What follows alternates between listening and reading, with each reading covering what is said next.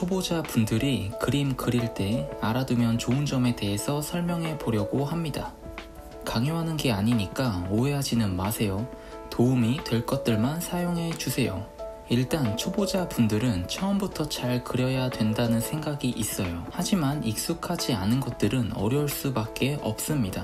그러니까 당연히 처음에는 못 그릴 수밖에 없겠죠? 그래서 천천히 정성을 쏟아서 하나씩 그리는 게 중요해요. 귀찮을 수도 있어요. 그리고 지루할 수도 있어요.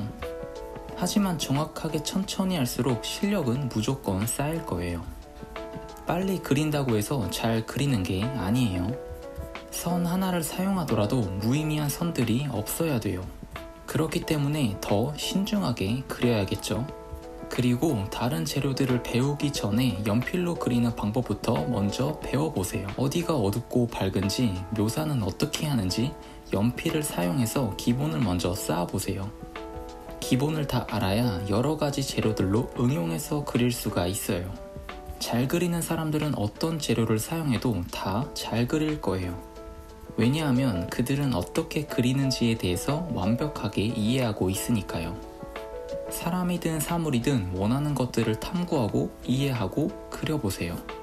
완벽하게 이해를 하셨다면 어떤 재료를 사용해도 재밌게 잘 그리실 수 있을 거예요. 그리고 억지로 그리지 마세요. 스트레스를 받는다면 의미가 없어요.